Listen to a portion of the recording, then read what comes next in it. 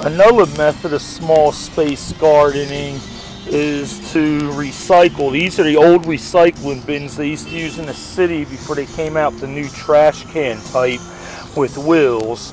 But these are great. What I like about them is you can put it on a balcony, deck, porch, along the edges of your walkway. If you want, you could paint the containers, but I was never much one for appearance. I'm more about functionality. But all you do is fill the container up with dirt. And what these are great for is root crops like yams, potatoes, carrots, beets, rutabagas, and any root crop you can think of that grows below the ground.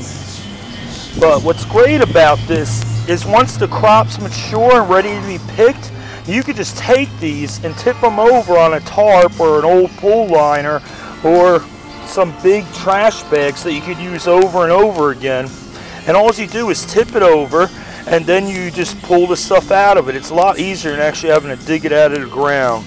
Trust me, I've used this for many years for potatoes and carrots and turnips myself.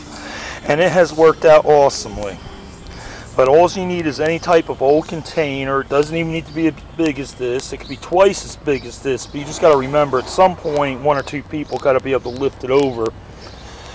So the only limiting factor is how much weight you can move really. And it's great because these containers actually have four holes in the bottom so it allows proper drainage. And like I said, I just filled up the dirt and compost and shortly we're going to decide what kind of seed to plant in here.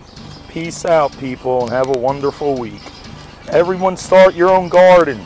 Stop eating the poison food they sell us in the supermarket. Grow your own. Raise some chickens, rabbits, or ducks if you like meat. Peace out.